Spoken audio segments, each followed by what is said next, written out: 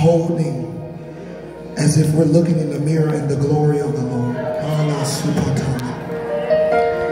And the reason we go from glory to glory is not just for emotional sake. It's that we're transformed into the image of Christ. You can do it in me. Come on, lift your this moment. There's no reason to gather unless there's transformation. Come on. He's pouring out new wine in this moment. For those who have been stale, you've been stuck, you've been old, you've been dry. The Lord, He's pouring out new wine. Come on, receive that. Lift your hands. I want to be new.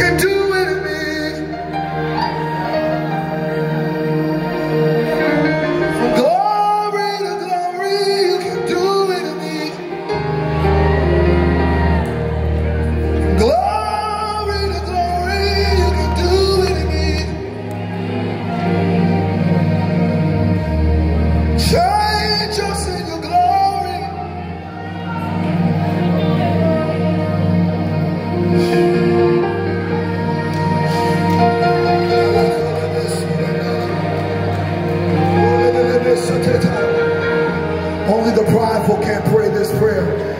But any of you who know that there's still some part of you that is not like him, and you can use some room for some new wine, I just dare you to lift your hands and receive the newness of the Lord. Come on, lift your hands. We receive your newness in the room. We receive your newness.